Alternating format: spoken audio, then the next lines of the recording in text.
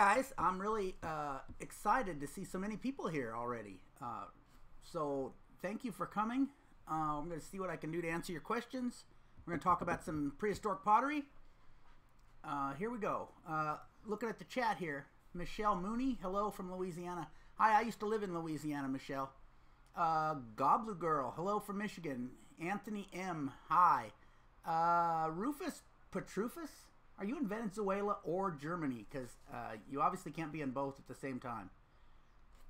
Alex Mendoza, hello. Uh, Re M, how do you pronounce that? Re M. Hi, JD, hello in Florida.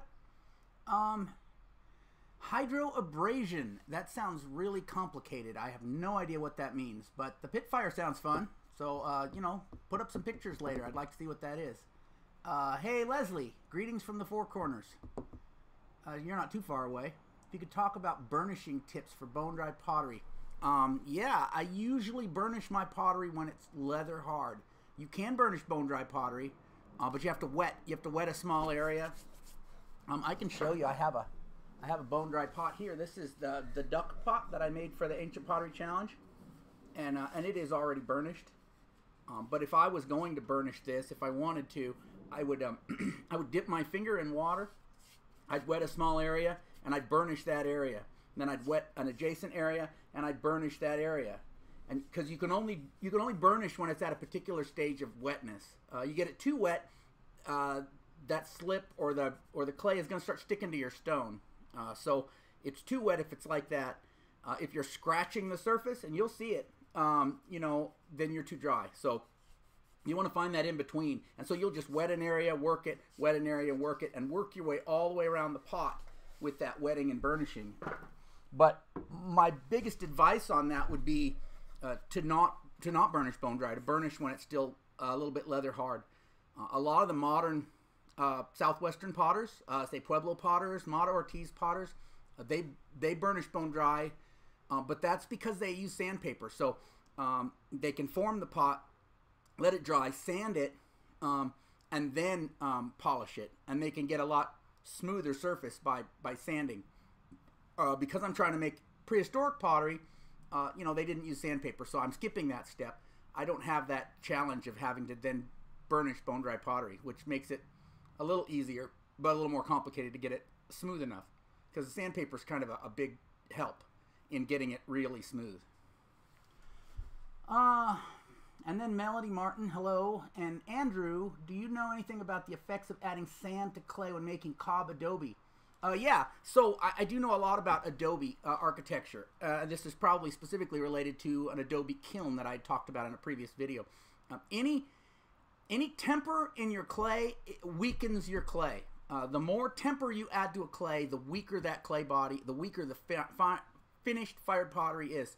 Um, and it's exactly the same for Adobe. So uh, any any sand or straw you add to that Adobe is actually weakening it. Uh, it is not a strengthener, uh, but it helps it to dry more evenly, helps it to crack uh, less. So um, it's useful, it's important, but um, it is not. It does not add strength, and neither does temper. And you'll hear that a lot of times, you know, reading books. Uh, that temper is used to strength to add strength to pottery. It is not. It's the opposite. Um, sand or whatever you're using for temper weakens uh, the walls of your pottery, and it's the same with Adobe. Um, yeah, Alex Mendoza said I've inspired him and has been practicing, but not doing great. Alex, uh, it's just a matter of practice, practice, practice. Every time you fail, uh, you're learning, you're getting better. And I started this when I was a, a teenager, and uh, I didn't have the advantage of YouTube. I, there weren't even any books about this uh, when I started it it was just a lot of uh, besides people that I talked to that told me things, which was the greatest teacher, but uh, you know, failure and trying again and failure and lots and lots of practice is how I got where I'm at. And so um, you can do it, Alex. It's just a matter of you know. A lot of times you hear people say, "Oh, you know that he's a real talented potter," and and some people have a natural talent at pottery or painting or something. That's true, but in a lot of cases, um, it's not it's not so much talent as as practice. So if you go someplace like Mata Ortiz, Chihuahua, and like I don't know, half the population are potters, it, it's not just they happen to be a very talented place. Uh, it's really that uh, that's a way to uh, help them economically. And so young people start practicing pottery early and they get really good at it because they practice, practice, practice, and they have good teachers. So anybody can do it with the right amount of practice. Um, if I understand correctly, when I fire pots, I need to bring them up glow, uh, glow red. How long do you need to stay that way? Uh, Alex, uh, I don't fire at night generally, so I, I'm not looking for that glowing red. You can't see that during the day. Um, I use, if you watched any of my videos on firing, uh, I like to use either a thermocouple or a little infrared heat gun, and that works real good. Um, and they don't need a long soak. If I can get my pots up to 750 or 800 degrees Celsius, I'm good. Uh, if I can soak for a few minutes before it starts cooling down, that's good too. But um, just getting there, they're going to be okay. They're going to make earthenware if you get to that temperature. Uh, Angela, oxidized versus reduction. Why and how can they be combined to get that effect? Okay, uh, so first of all, there's a lot of misunderstanding when it comes to what reduction is. Uh, in Southwestern pottery, a lot of what we call reduction, like Maria Martinez black on black pottery, for example, um, is not actually reduced. Uh, it's it's smudged, it's smothered. It, it's uh, that's carbon you're seeing. It's not reduced iron, uh, and a lot of people think it's reduction, but it's not. And the reason we know that it's not is uh, have you ever seen some of those potters in San Ildefonso or uh, Santa Clara, some of those places where they make the black on black pottery? They will use aluminum foil in areas like on the rim or or in little cutouts, uh, and they'll place it over the pottery before they fire it, and then when they pull it out, the areas that are covered in foil will be brown or reddish brown, and then the other areas will be black. If, if it was actually reduced iron, it would reduce everywhere because they were keeping oxygen out of everything, right? Uh, but it's but it's actually um, it's carbon. It's smudging, not reduced. Uh, and the same way, there's another thing they do. They'll they'll take a blowtorch, a little propane torch, and they will burn off that black in designs after the firing. Now, if it was reduced iron, you would not be um, burning the black away. It's carbon. That's what they're doing is burning it away. Um, so most Southwest pottery is not reduced at all. Um, prehistorically, uh, Mimbres pottery was all reduced. a lot of that Cibola whiteware, um, like Tularosa and stuff, a lot of that was reduced as well because that paint is actually iron. That it, you'll see areas where it turns red. You can refire it in electric kiln today, and those black designs will turn red. Um, how they do that, nobody, literally, I, that I'm aware of, nobody knows how they were reducing pottery back in prehistoric times. Um, but when you start a fire, when you're doing outside firing, uh, it is reducing at first. Uh, in the first, you know, let's say that, let's say you fire over the course of a, an hour, just, just, just for simplicity. Most of my firings are less than an hour, but let's say it lasts an hour. That first half hour is going to be reducing and then it's going to slowly gradiate towards oxidation towards the end. So when it first starts lighting, there's all that smoke and fumes coming up. Uh, that fire is actively combusting, lots of flames. Um, there's very little oxygen inside there for that pottery. And at that time, you have a reduction atmosphere. Uh, and then as that fire starts burning to coals, there's less flames, uh, there's less smoke.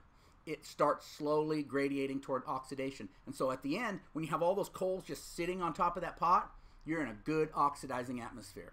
Um, and so you, almost all outdoor firings have a combination of reduction and oxidation. So the if you wanted to keep it, and this is this is all hypothetical, if you wanted to keep it reduced, uh, let's say I was a, a Mimbres potter or I was trying to make Mimbres pottery, I would want to smother it at that point before it started oxidizing, um, or at least before the iron started oxidizing. Um, now, when you're making, uh, let's say, Mesa Verde black on white uh, organic paint pottery, um, it's the same way. They let it oxidize to the point that if you pull those pots out, if, or if you smother it too early, they'll come out all black. They'll all be covered with carbon, right? The pots. Um, but they let it oxidize to the point that it's burned all the carbon off of the pot before they smother it. So there is some oxidation. That's why Clint Swink doesn't call it reduction. He calls it limited oxidation because you're oxidizing enough to clean the surface up to make it look nice and bright, and then you're smothering it, keeping the oxygen out. So uh, it's it's kind of a fuzzy uh, gray area. Um, where are we at here? Uh, Cool to see all these potters here. Cool music. Hello. The music isn't still playing, is it? I hope not. Uh, hello from Texas. Hello, Alex from Texas. Chris in Kansas. Hi. Um, I think it's Mitchell. Hello from Florida. Uh, Andrew. Hi from Minnesota. Greetings from Argentina. Hello. Leo Bizone. Hydroabrasion is a phrase I learned just means using a sponge to wipe away the non-shellac areas. Okay, interesting. Um, it, it, sounds uh, more complicated than it probably is. Hydroabrasion sounds really, uh, you know, scientific and complex. Uh, when can we see the milk sealing and the redo of the spoon? Okay, so uh, I'm, I'm getting ready to do the, on the Ancient Pottery Challenge, I'm getting ready to do the Olla. That'll be next. Um, I'm trying to make sure I have enough clay because I have to have a, a volume of clay ready before I do that. Uh, and then I'll do the ladle after that. Um, and the milk sealing, I'm talking to Mats Merman. I talked to him yesterday about it. I'm trying to get him to help me with it. And so he sent me a, a text message, no, maybe an email yesterday, and he said, call me when you have a minute, and I haven't. So after this live stream, I'm going to call Mats and try to schedule that maybe for the next week or so. So for that milk sealing video to come up pretty soon. Uh, it's it's on my it's still on my agenda. It's still on my list. I'm waiting for Mats. Um. Oh, uh, Bobby Silas is here. Hey, Bobby. Um, hey, from South Carolina. I asked you about red clay paint and iron oxide. Uh, BJ E. Hey, from South Carolina. Red clay paint and iron oxide. Okay. Yeah, I'm, I'm not sure if you're asking me a question now though or not, uh, BJ. So if if you do want to ask a question about iron oxide, uh, maybe rephrase that. Uh, Andrew Prost, uh, thank you. I felt like sand weakening it too. It was hearing mixed messages. Yeah, you, you hear that sand uh, strengthens pottery stuff. I mean, you'll read it in books, and it's not true. Uh, Regina Carroll, how wet does clay have to be to use? Oh, uh, well, that's kind of subjective because different potters are comfortable working at different, you know, drynesses or wetnesses. So uh, a lot of people that throw pottery on a wheel, uh, they work a lot wetter than I work hand building, for example. So, uh, and then some people may work wetter or drier. And I, and I run into that a lot when I'm teaching a workshop. I'll find that a lot of the students, um, you know, they work at different levels of dryness. And some of those that don't have a lot of familiarity with clay, uh, their pot will be cracking and stuff. And, and they'll be like, "Oh, why does my pot keep cracking?" And, and the answer is, well, you need to you need to work a little wetter. You need to keep your clay wetter. You're working too dry. So uh, some of it is subjective. Some of it is based on your clay body. So some clay bodies, you know, work better at different levels, but um, certainly enough that it's plastic. That's the key, you know, to making pottery, making sure you have plastic clay. Um, Leslie says, uh, actually sandpapering, sandstoning might answer one of the questions I've had, long had about prehistoric pottery. How did they get all the burnishing done before it dried? Especially with the higher humidity in modern houses, but we have no. Yeah, no. So, um, prehistoric times, uh, they were what I would think largely working outdoors. I mean, if you go inside of a, a reconstructed Pueblo room, it's pretty dark. Um, you know, it's not really a a good working area. Even if you have a fire in there for light, um, it's it's dim light. It's flickering dim light. So um, if I was making pottery in those times, I think I would prefer to do it outdoors. Um, and and obviously my house even today uh, probably has a lot more humidity in it than one of those Pueblo homes in you know 1300. So um, you're dry, you have a drier atmosphere, and if you're working outside, you've got a little bit of breeze and stuff. Your pottery is drying out like crazy. Um, so yeah, that's a good question. How they kept it moist. Um, now there's a picture I have. I wish I had it with me. I'd show you. That was sent to me by Barbara Mills, who's an archaeologist at uh, University of Arizona, and at at Bailey Ruin, which is up near Show Low. Uh, it was a pottery production community, and they found in the floor, so the floor of the house, this is inside, comes up, and there's a hole and they've got like a jar buried in the ground, right? And then they have a, a flat piece of slate, some kind of flat sandstone or something that can go over it. And down in that hole, there was a wet chunk of uh, prepared clay. So they would get their clay ready, maybe knead it up, add the temper or whatever, and they could put it down in this hole in the ground and cover it up with a piece of slate, and it would stay a lot moister. So I imagine uh, you could even put like a small pot down in that hole, keep it moist. The other thing I've thought about is a damp, like they had cotton cloth, so damp cotton cloth would work similar to like a plastic bag, uh, you know, around your pottery to keep it moist or to keep the air away from it. But it would have been a, a tremendous challenge, uh, especially making complex forms like that double jar or the ladle, things where you don't want it to dry too fast and have things break off. Um, would have been very difficult to keep things moist or, or not to let it dry too quickly.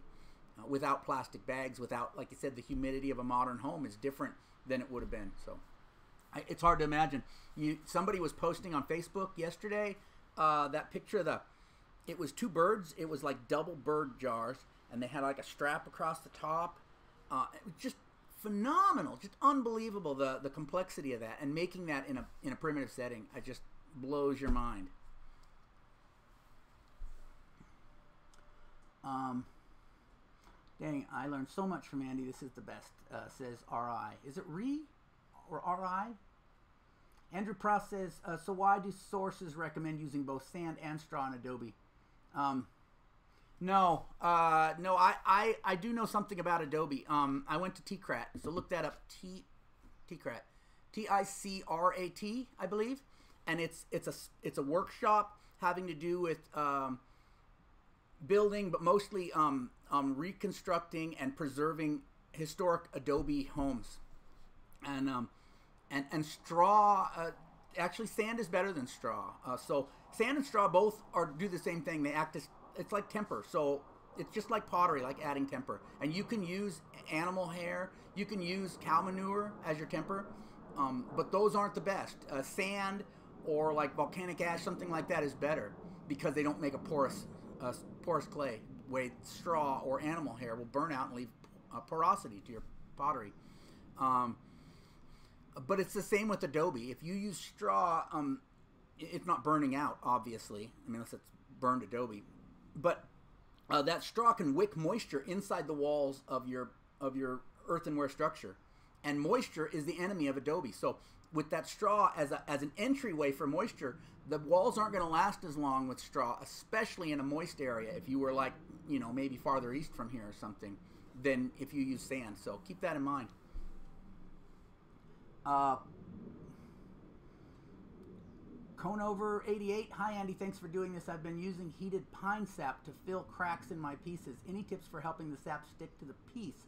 Also, once it's there, uh, I can't fire it again. Flammable. Yeah, I've, I have no experience with that. Although um, I would assume, you know, that they did something similar in, in prehistoric times, uh, filling those cracks with sap or, or something. So um, that's an interesting idea. I've never I've never fiddled with it. So you're having trouble getting the sap to adhere to the pottery, huh? I wonder if it would adhere better if you got the ceramic damp before you added it instead of adding it dry.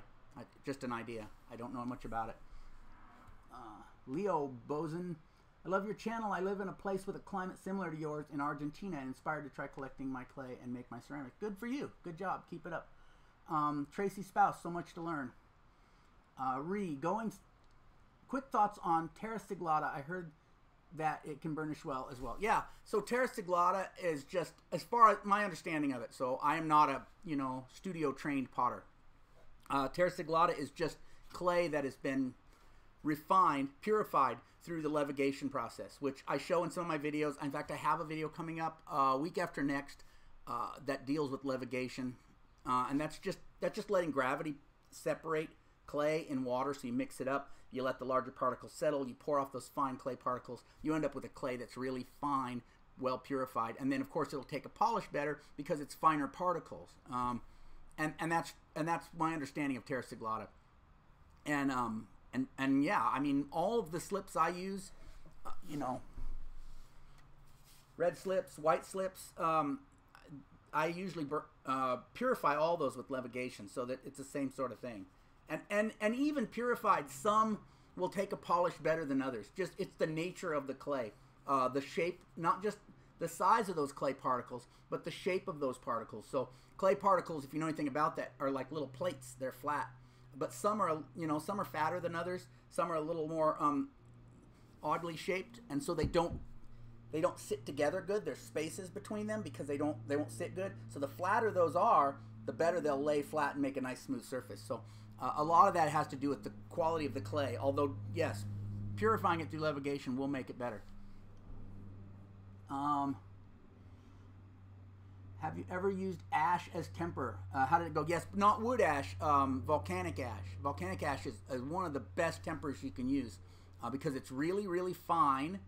Uh, it's it's never gonna like have a little chunk sticking up in your clay, um, and it's it's inert in the firing. So because it came from a you know a very hot volcano, you can pretty much get it as hot as you want in your firing, and it's not gonna like expand, contract, you know, explode like some rocks will do in a firing. So uh, it, it makes a great temper. Wood ash, no, I don't. I had this question recently about wood ash, and I don't know where that's coming from. To me, temper is defined as a non-plastic material. You ever get wood ash wet? It's slippery. It, it would be plastic-ish. I don't think it would work at all, but uh, I don't know.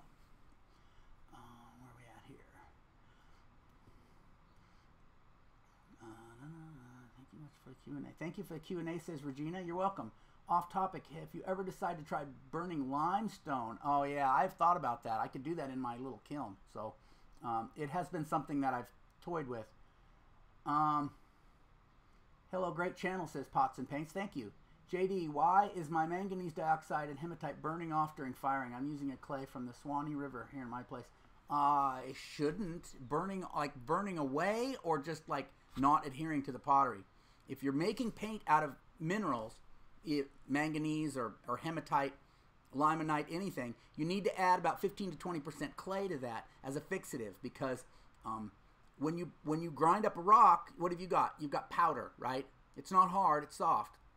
If you paint that powder on anything, uh, like a pot, there's no reason why that shouldn't remain a powder after the firing. So you need some a little bit of clay in there so that it'll turn hard in the firing. That's what the magical thing about clay is, is it hardens when it gets hot. So uh, if that's what's going on, add a little clay to it.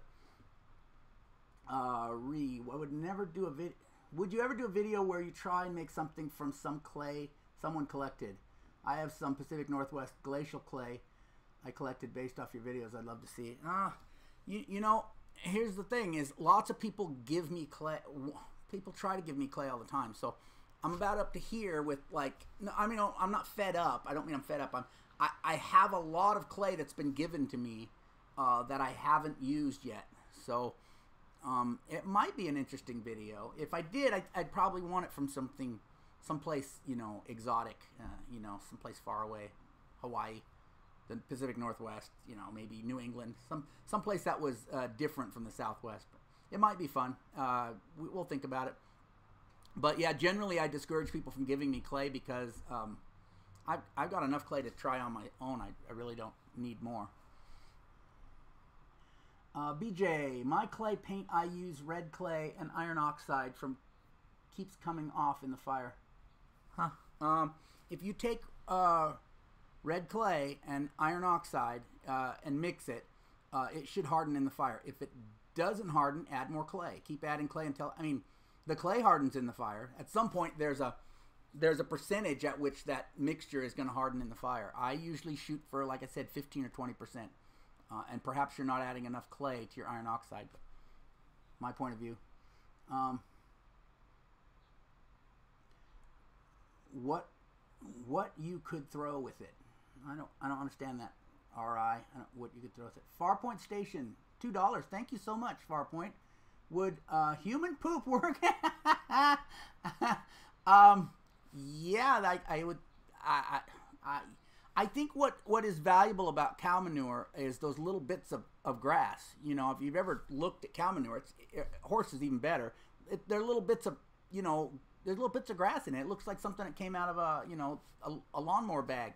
And so those tiny little bits of grass are acting as temper. Uh, I haven't spent a lot of time examining human waste, but I think it's a little smoother because, you know, we eat things that are ground up pretty fine, like flour and cheese and such. So um, it, it depend. It would probably depend a lot on the person's diet. Uh, Bobby, you, yeah, no kidding. Uh, Michelle, yuck. Farpoint Station. I don't want to I don't want it to go to waste. Well, um, I suppose there's more interesting things you could do with it um, as far as fertilizer, I would think. But, you know, Disgusting. LOL. Gosh. Um.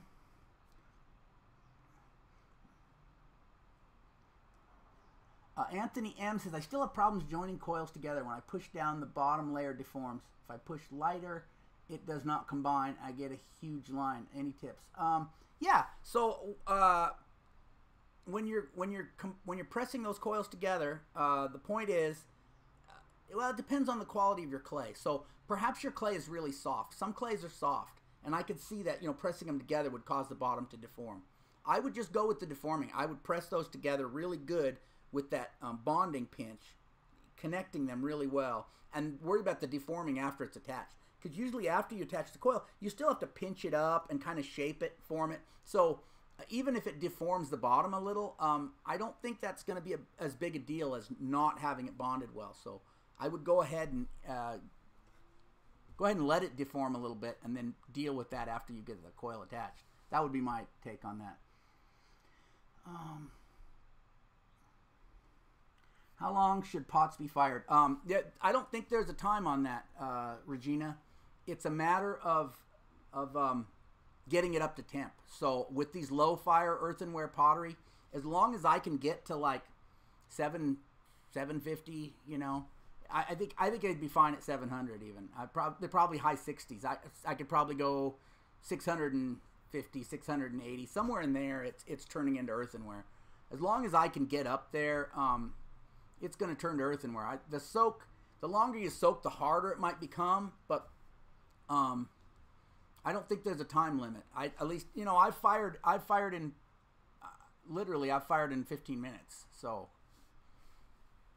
uh, Chris in Kansas, I've tried to come up with Terra Sig using some upland wild clay, but it's real hit or miss. It depends on the clay. It depends a lot on the clay. So you can have a dozen different clays from your area and experiment with all of them, and you might find only one or two that'll that'll make good Terra Sig. So um, just just experiment. Like I said, it has a lot to do with the the particle size and the particle shape of those clays.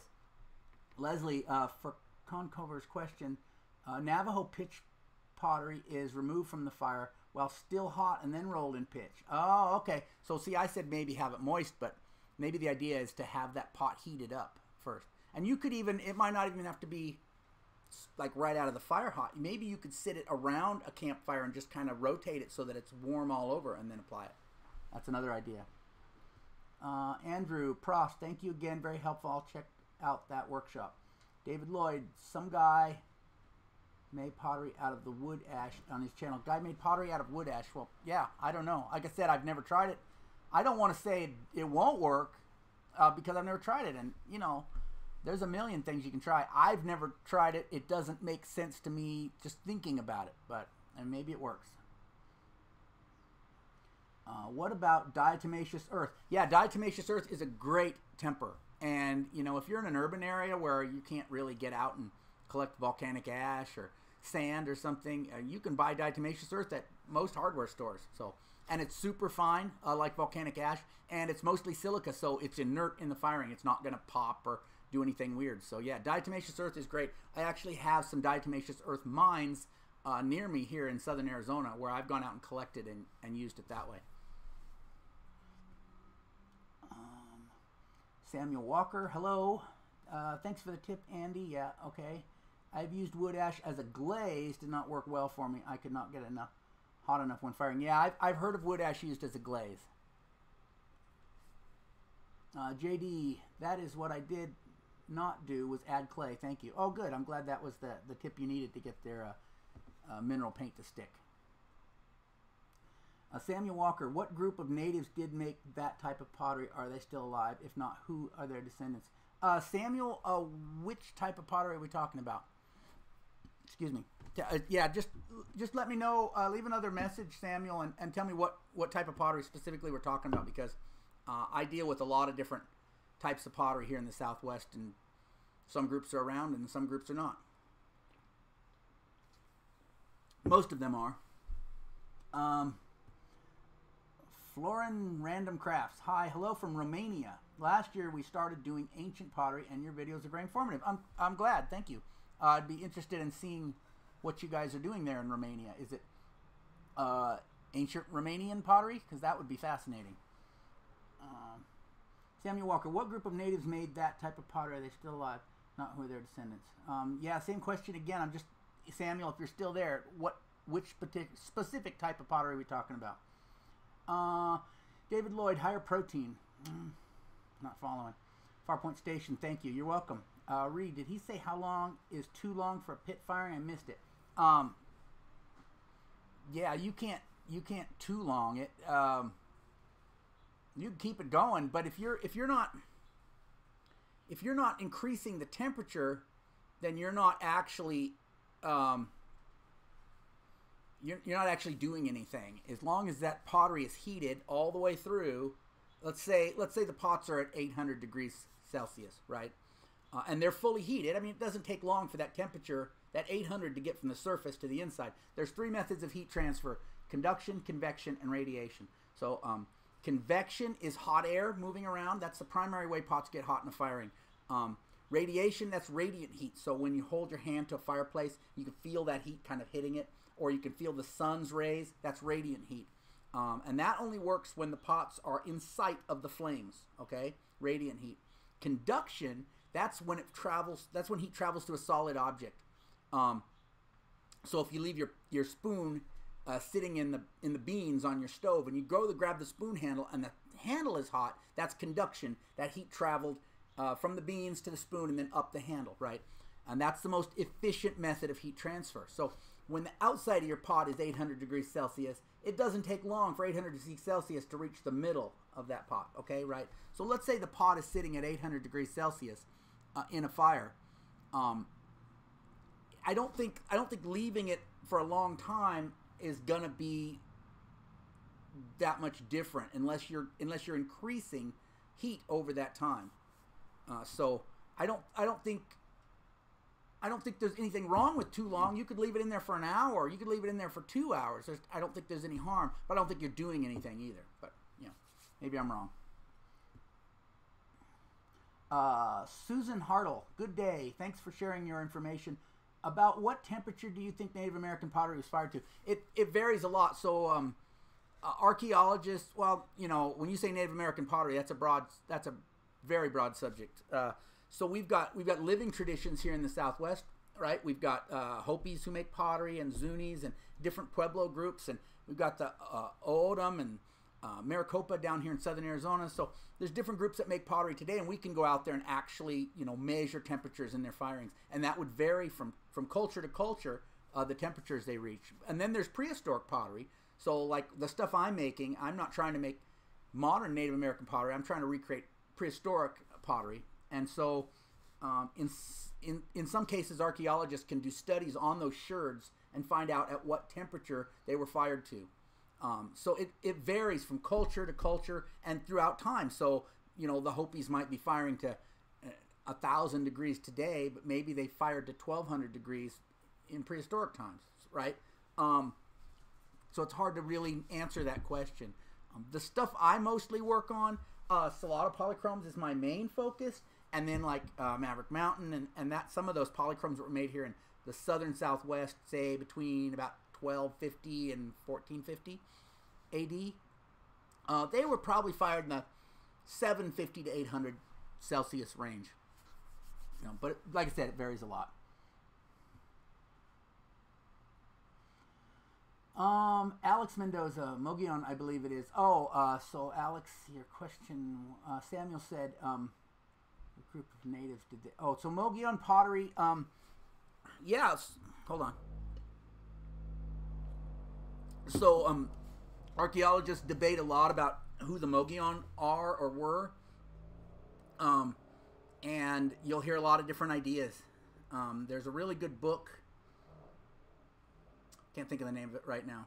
Anyway, there's a really good book came out a few years ago. It's an archaeology book, and it talks about um, this archaeologist had the idea that the Zuni were the descendants of the Mogollon, and uh, and he went to a lot of lengths to, to show this, and um, and I didn't think it was very compelling. Uh, I I thought there were a lot of holes in it, and it seemed like a lot of the archaeologists that contributed parts of this book also felt like that wasn't the case. But it was it's a really good read because it looks at a lot of the evidence. Um, in my book, uh, Mud Puzzles, which is for sale on my website in case you're interested, um, I make the case that the Mogollon the descendants of the Mogollon are the Opata, which who live just south of here, down in Mexico, just just south of the border. You don't hear their name very much in, in the Southwest because um, they didn't live in the United States uh, historically. They were just down in Mexico, and so we hear a lot of. We only scholars tend to focus only on those groups that live north of the border and not so much south. So uh, the Opata were just south of the border here in, in northern Sonora, just across, just south of Arizona, and I think those were the descendants of the Mogollon. But uh, the, the, jury is out. Uh, there is some interesting evidence uh, relating, uh, connecting the Tarahumara uh, down in the Sierra Madre of Chihuahua, connecting the Tarahumara to the Mimbres and also Casas Grandes, which are Mogollon groups. it has to do with dental, like tooth you know, archaeologists looking at teeth. I don't know much about it, so but you might look that up. Time doesn't matter; it's the temperature. David Lloyd. Uh, Farpoint Station, five dollars. Thank you, Farpoint. Uh, if you were my professor, I feel like I would have finished my degree. Kudos for providing great education, inspiration, and sharing your passion. Uh, great, I, I, appreciate that very much, Farpoint. Appreciate it. Um, that it's my passion too, and that's that's that's my motivation. You know, when I was a kid trying to learn this stuff, uh, it was really hard, and I hope to make it easier on people in the future. Does it matter if the diatomaceous earth is food grade? No, it wouldn't, it wouldn't matter at all. Like I said, I go and, and harvest it out in the desert at an old abandoned uh, diatomite mine, so it doesn't have to be food grade to add, to use for for pottery. Just buy it at a hardware store. Um, peace and love and hope. Hello, hello, peace and love. Uh, Andrew Prost. I've seen that wood ash pot. It leaked water out of the bottom. Anthony M. Do you have any knowledge about colonial pottery of the 17th and 18th century? If so, can you do a video on it? Oh no, I know nothing about it. Um, I've looked. I've been to some archaeological sites here in southern Arizona, um, with with Spanish pottery uh, that they call majolica, uh, and so I I think I can I can spot it in the field, but I don't know anything about how it was made. I think that majolica was being traded up from down in you know Mexico City area or something. Um, Samuel Walker, thanks and yes, I think it is Mogollon, like you said. Yeah. Um. So there's a yeah there's if if you talk to archaeologists, you know they will tell you who all the different you know they're pretty sure who the descendants of the Hohokam are the O'odham. That that's what they say, and, and I think that's pretty well established. Um, you know the groups that you know we used to think of as Anasazi. Today they're called Ancestral Puebloan obviously are the descendants are, are, the ancestors of the Pueblo groups in Arizona and New Mexico, Hopi, Zuni, uh, you know, all the groups along the Rio Grande. It, it it's pretty obvious. Uh, the Mogollon is the big question mark in Southwest archaeology, uh, and and my book does deal with that some. Um, happy Friday, peace and love. Yes, uh, I think I'm gonna go film a video tomorrow, so I, I might I might be working this weekend. There's a visible line inside the pottery when broken, is it not getting hot enough?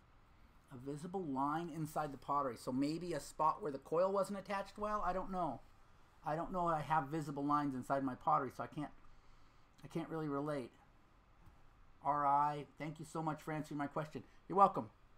Um, thanks for thanks for coming to the live stream today. I, I really uh, somebody mentioned live streaming a long time ago to me, and I thought ah, what if I live stream and, and nobody comes? You know, that'd be the worst. So, um, thanks for showing up today. I really appreciate it. Um,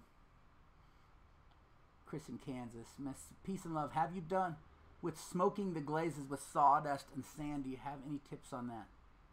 Um, no, no. I, I, I, in my firings, I generally try to avoid getting, you know, smoking my pots or getting carbon deposits on them. Um, I show you a pot here that I fired. And, talk about it a little bit. So like this is a, a little bowl that I fired. It, it's not really great, but um, so usually I fire uh, I fire upside down over the coals, and I'll place the pots on rocks. So there'll be like three rocks holding the bottom up, and then the fuel, you know, I I stack over the pottery, and then as it burns, it falls on the pot, and it leaves these what they call fire clouds, these marks, you know, carbon deposits. Here's a really good one, right, right there. And so you're leaving these fire clouds on the outside, and, and that's that's okay. I, I'm okay with some of that, but like I don't want it all smoky, and and I usually try to avoid that because I want the colors to come out. I want that red to show, you know. And if it was all smoky, it wouldn't look so good. So uh, in my in my pottery, I'm trying not to you know smoke it unnecessarily, just a, maybe a little bit. Um, Michelle Mooney, thank you, Andy, for all the wonderful videos. I have to go for now, and we'll finish watching later. You are my wild clay hero and have learned so much from you. Thanks, Michelle. I appreciate that very much. Uh, Leslie, what? Not drinking Coke out of your mug you sealed in the video recently? You know, I was gonna. I actually plan on drinking uh, coffee in my mug, which is right here. I was gonna drink coffee in my mug for the live stream, and um, uh, it, it's Tucson in in April, so by the time I was by the time nine o'clock rolled around, it was already warm enough on this porch that the idea of drinking a hot drink was not appealing. So I grabbed a Coke. I could pour the Coke into the mug, but I, I don't know. I mean, it, it's got it's got some like cornmeal, uh, you know, starch stuff in here, and I don't know if that's gonna affect the flavor of my Coke. Sometimes I can be a bit of a Coke snob. Like, you know, you go to a Circle K and you get a bad mix on your Coke, and you're like, ugh, I don't like this stuff. Um, Chris in Kansas, some prehistoric sherd cores are grayish or even black, which is not specifically from reduction, like didn't fire long to burn off the carbon. That's right, Chris in Kansas. Um, so, uh, hold on. Oh, making a mess.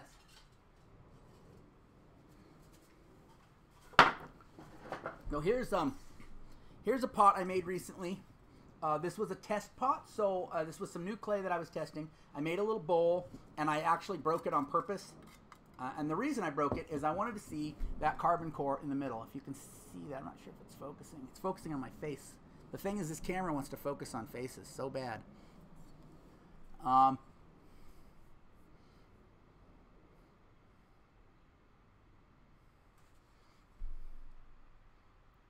there, you see the carbon core? Okay, so that grayish color in the inside of the pot, on the inside, so all clays have carbon in them. Well, not all clays. Most clays have carbon in them naturally. And I mean, it's just because it's in the earth and, and you've got dead plant material and stuff just soaking down and getting mixed up with that dirt. That is the clay. And so when you fire the pottery, you're burning that off. You're oxidizing that carbon. It's burning out.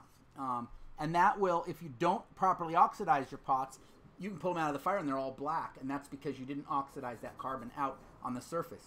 In this case, and in the case of most, um, you know, primitive pottery in the Southwest, um, it doesn't stay hot long enough to burn all that carbon out.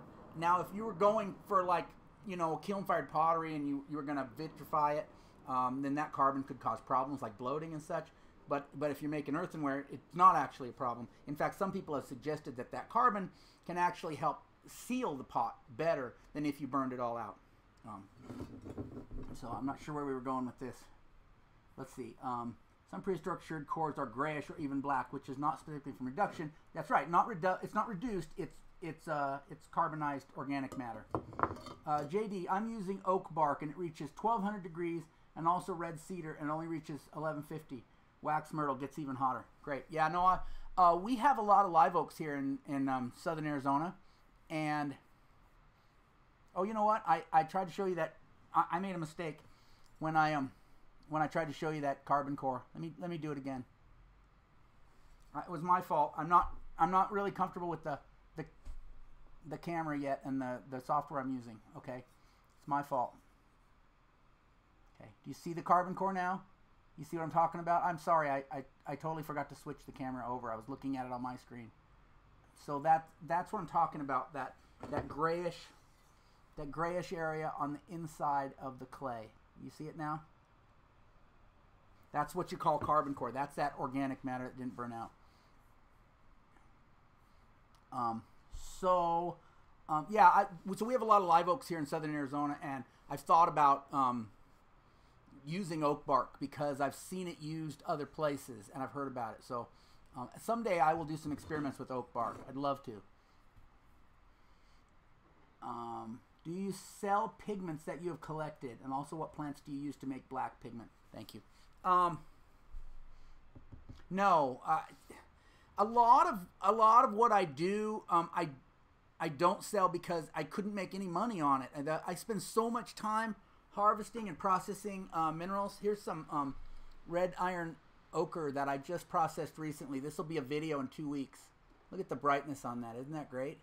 And so, um, I, there's no way I could sell this for like I, would be selling it for like you know some ridiculous like fifty dollars for an ounce or something. And I, I can't do that to people. I'd feel bad about it. So um, you can buy red iron oxide off you know Amazon, and that's would be my suggestion if you can't get it in your area because I can't do it for a reasonable price. And the same way with pukis. Honestly, I get a lot of requests for pukis, um, and I I just can't make a puki and sell it for a price that would be reasonable for somebody. So make your own pukis or the ones they sell on New Mexico clay are really cheap. Were they like five bucks or something? Um, so I, there's a lot of things I don't I don't make or don't sell because I can't at a reasonable price. I sell gourd scrapers and polishing stones. That's all I sell because I can sell those at a price that I think is relatively affordable. And I still you know, make some money on it because it wouldn't be good for me to volunteer all my time to make tools for people and not get something back, right? I have to I have to pay bills just like everybody else. Oh, uh, what do I use to make black pigment? Um, I've used. Uh, you're talking about organic paint, I assume, not a. Well, there's two different ways you use organic material as, as in pigment. Uh, one is a, a organic binder uh, to to help the make your mineral paint uh, flow to make it sticky, so it sticks on the pot, so it flows off the brush. Uh, and then there's organic paint like. Um,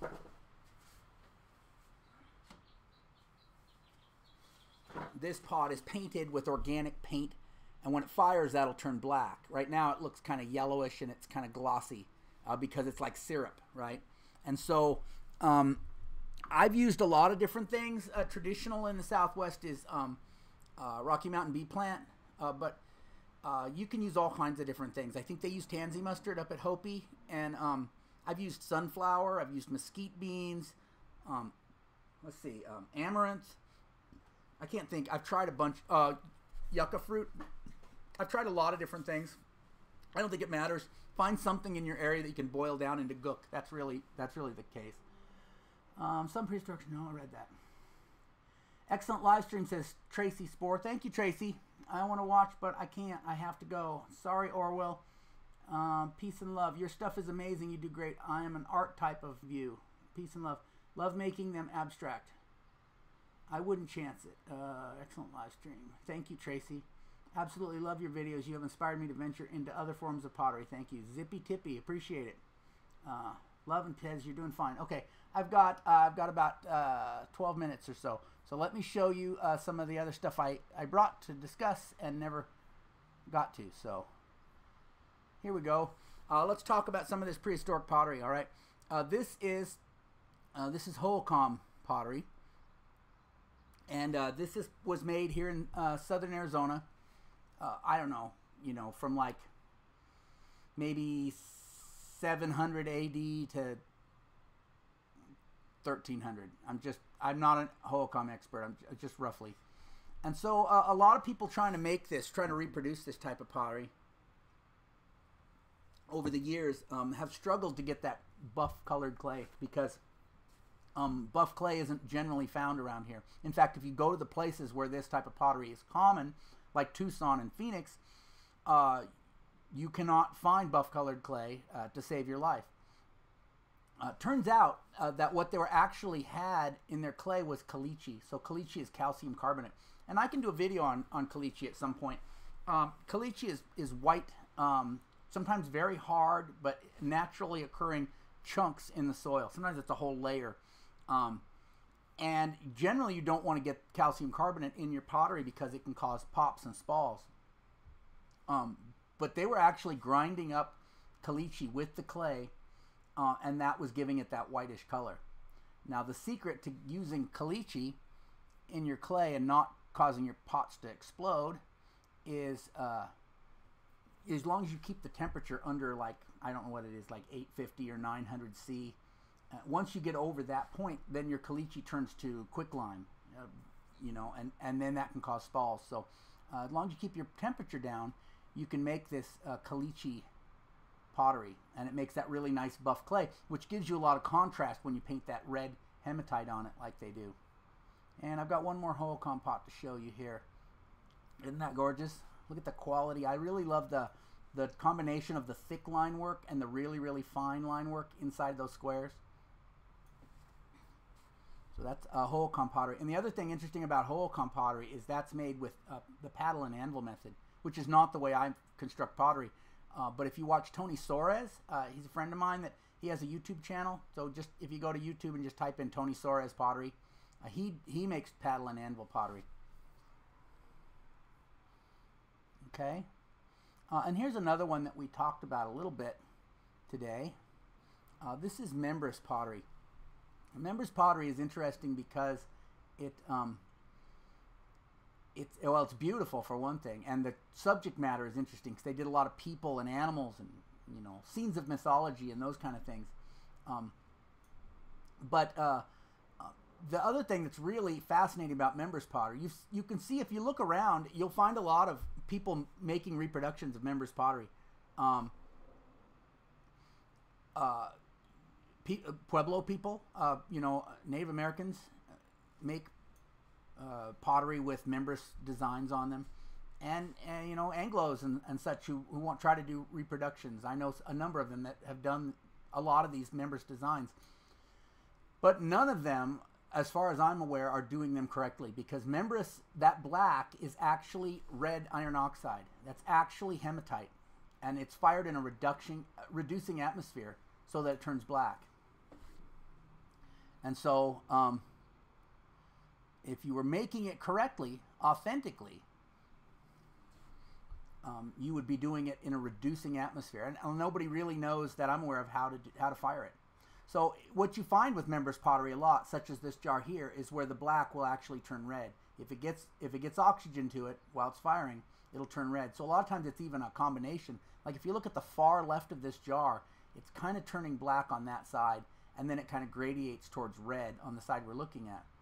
Um, so they, they were trying to reduce it and it had a failure. But really, these these red ones, or the ones with a kind of a combination of red and black, are, are some of the most beautiful, in my opinion. And I have one more of these uh, to look at. This is the um, Western, let's see, uh, Western New Mexico University Museum, where they have a huge collection of Mimbres' pottery. So the interesting thing about this, well, besides the way it's fired, uh, it, it's just local, uh, like brown clay, uh, and then it has like a white, uh, maybe a kaolin or some kind of really nice bright white slip only on the inside of the bowl, and then these really amazing designs. And not only are they are they fascinating designs because of the subject matter, you can see animals and people, and uh, but they're really really finely executed. They're really amazing fine line work. So Mimbres pottery is is really uh, some of the finest in the Southwest, and and like I said, nobody is really making it uh, correctly today.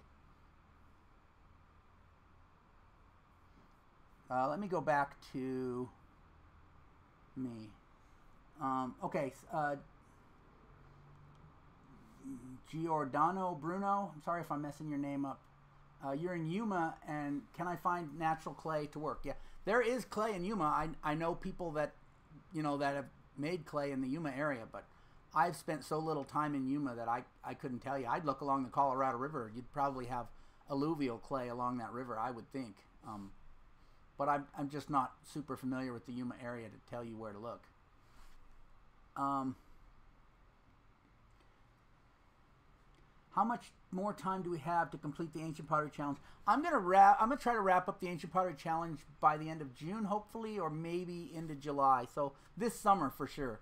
Um, and then I'll I'll do that wrap up video. You know, maybe July, July or August. So um, I would, you know, if if you want to do them all and you haven't, you know, and you're not well along, you better get on it.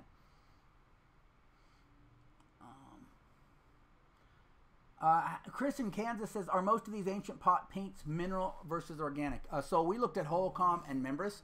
And Hohokam and Mimbres, this is the now this is what I was saying about Mimbres pottery. Hohokam and Mimbres pottery use exactly the same paint. It's red iron oxide. It's it's hematite. And in fact, uh, if you look at older Mimbres pottery, it evolved out of. They were making. They were they were copying Hohokam pottery. They were making red on brown pottery, very similar to Hohokam pottery, and then uh, that evolved, and they they discovered this white slip that evolved from red on brown to red on white, and then they discovered this way to re- reduce reduction fire their ox- their red paint, and it became black on white. So it actually evolved out of pottery. It was very similar to Hohokam. So they both use mineral paint made out of red iron oxide. Um, uh, I watched the video where you collected the clay and ground it dry. You said something about not separating the clay out since the temper may be added anyway. Will you elaborate on that? Well, sure. If I get clay out of the wild and it has some grit in it, most clays, wild clays, have a certain amount of grit to them. They're not 100% pure clay. Uh, now, if you if you purify, a lot of people go through a lot of process to purify their clay to get all the junk out of it, which in some cases is good, but you're just in some cases you're just removing grit that you're then gonna you have to temper your clay I always add about 20% temper to my clay. So what is the point of going to a lot of effort to pull all that grit out of my clay so that I can turn around and put grit in my clay? That grit is naturally there as temper. Why not leave it in place? That's all I mean. Um, used about 20% ratio for temper. Oh, Regina. So um, it's just a 4 to 1. It's just a 4 to 1 ratio. So you can get any size scoop, right? Scoop out four scoops of clay and then one scoop of temper and mix it together. That's that's a 20%. That's 4 to 1 ratio. Easy. That's 20% sand to 80% clay. Um, JD, thank you so much for the informative video. I had not touched clay prior to your videos. Excellent instruction. Thanks, JD. Uh, can you use kaolin powder white to make white slip? Yeah, I would. You could. Um, my question would be at what temperature that kaolin matures. So a lot of white clays have higher maturation temperatures before they harden and become ceramic. Uh, that temperature is high because because brown and red clays have natural fluxes in them. Iron is a natural flux, for example. And so that white clay, some of those white clays have a higher maturation temperature. So at the temperatures I'm reaching in my firings, um, you know, let's say I'm not going over 900 C, um, maybe that kaolin wouldn't turn to ceramic. I don't know. You would have to experiment with that. But that would be my one uh, caveat to using kaolin. Can white clay, whiteware clay make good slip? Yeah, yeah. Well, it, white clay make. I use it for slip a lot, and that is like around here. White clay is rare, and when you find it, it's often just a thin band. So you can't really get enough to make body clay out of. So you build your clay out of brown, or you build your pot out of brown or gray clay, and then you slip it with the white because it's rarer, it's more precious. Uh, thanks for taking the time to let us ask you so many questions. Uh, thanks, Anthony. I appreciate you guys asking questions. It made the live stream real easy for me today because I didn't have to make stuff up. There were things I had out here to show you that I didn't even get around to because you guys had so many good questions. So that makes it easy for me. Uh, peace and love. Much love all time to get back to teaching. Thank you for the wonderful lunch live stream. Hope to see you again on live. Have a great weekend. Thanks, peace and love. You too. Uh, Meredith Sonier, good morning. Recently discovered the channel and have enjoyed watching and learning. Keep up the great work. Thanks. Thanks, Meredith. I appreciate it. And Andrew Prost, is volcanic ash significantly better than wood ash for temper? Yeah, I, like I said, I wouldn't use wood ash for temper. I don't think that's going to be a positive thing. Volcanic ash is a great temper. Wood ash, having never used it, my opinion is is not a good temper. But you know, prove me wrong. Uh, Regina Carroll, the clay I've found has a good bit of silt. Does that work for temper? Uh, yeah, it can, but it also can ruin the the uh, the the texture of your clay. It may not be very workable. So it, it depends. You're going to have to test it. Try rolling some coils. Maybe make a little pinch pot. See if it uh, if it's working good for you. I mean, use it if you feel like it's not plastic enough and it just doesn't stay together good because it's so silty, then you're going to have to levigate to get that silt out. Uh, you know, and that's a time consuming chore. But if it's good clay, or maybe the only clay in your area, then it's worth it. So uh, I have a video coming out next Wednesday all about testing clay, new, finding new clays, and, and the tests I go through to see if it's workable. So um, that should help a little bit. And, you know, you just, every clay is different and every person's different. We all work little different with our clay, so you have to find something that works for you. Uh, and so that uh, that brings us to 10 o'clock. Uh, I appreciate all your questions and uh, uh, participation. I didn't even use half of the material I had, so um, that's good. I can use it next time, right? Uh, everybody have a great weekend, and thanks for showing up. See you later.